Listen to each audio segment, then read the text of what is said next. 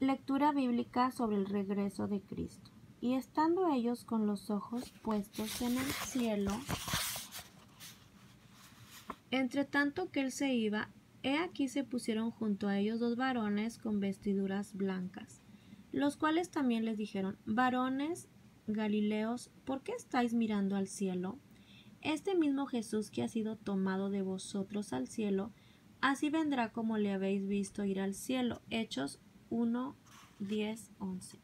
Por lo cual os decimos esto en palabra del Señor, que nosotros que vivimos, que habremos quedado hasta la venida del Señor, no precederemos a los que durmieron. Porque el Señor mismo con voz de mando, con voz de arcángel y con trompeta de Dios, descenderá del cielo y los muertos en Cristo resucitarán primero. Luego nosotros, los que vivimos, los que hayamos quedado, seremos arrebatados juntamente con ellos en las nubes para recibir al Señor en el aire, y así estaremos siempre con el Señor. Por tanto, alentaos los unos a los otros con estas palabras. Primera de Tesalonicenses 4, 15, 18. Por tanto, también vosotros estad preparados porque el Hijo del Hombre vendrá a la hora que no pensáis. Mateo 24, 44.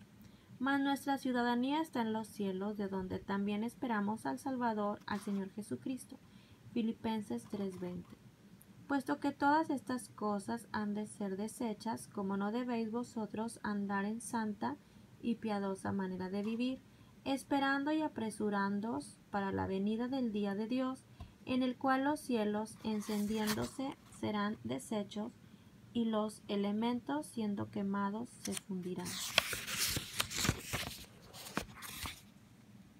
Pero nosotros esperamos, según sus promesas, cielos nuevos y tierra nueva, en los cuales mora la justicia. Por lo cual, oh amados, estando en espera de estas cosas, procurad con diligencia ser hallados por él sin mancha e irreprensibles en paz.